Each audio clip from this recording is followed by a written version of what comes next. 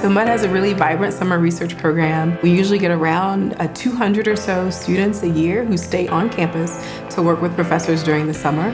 So in this lab, we're working with cheap, abundant materials that can be used to make very thin, lightweight solar panels. And our ultimate goal is to do something basically has the nickname of solar paint. We'd like to be able to basically spray paint solar panels over large surface areas. It's been nice working in a lab that is related to some type of industry that I may want to work in later, renewable energy and energy storage, and it's nice to be able to work on something that I think will have great impact. Hands-on research is so important because that's how you see if you really have a love for a subject. You know, um, you can sit in a class with a professor and learn about it, uh, but until you have the opportunity to really dig and go deeper, um, you don't really know if that's for you. It's been an amazing opportunity because I feel like in just 10 weeks, like I learn a lot and it's a very valuable experience for me to learn new analytical techniques and different types of chemistry. I study social insect behavior and what really fascinates me and our group is understanding how it is that these tiny insects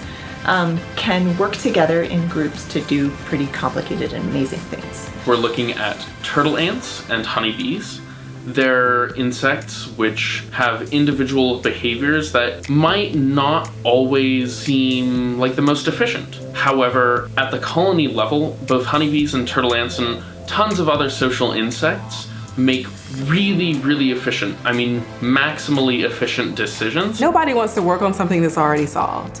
I don't want to give my student a problem that I know the answer to because then I'm just like, I wonder if you're gonna discover what I already know. And so the excitement about summer research is you're working on something that I wanna know, that you wanna know, that the world wants to know, and the work that you do could be uh, what solves the problem.